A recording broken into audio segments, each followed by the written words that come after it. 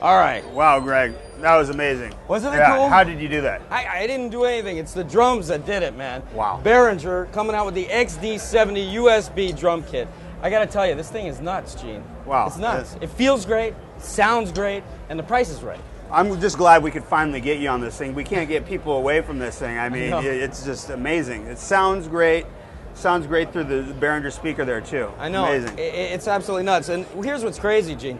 I'll tell you, it's got 735 sounds built in. Wow. You get the USB built in. You get a triple zone ride.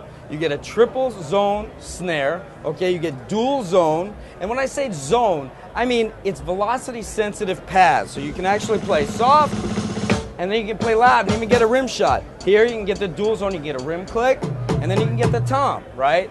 And that goes all the way around. And all of this, I'm telling you, it's for $499, right? wow. wow. Now, here's the crazy thing. The rack comes fully assembled in the box. So you pull the rack out of the box. It's all folded nicely, so it's still in a compact box. You take it out, easy, easy setup. Wow. Plug and play. and th- this is coming out soon, or Oh, this is coming out Q2 on top of this. Wow. Get this.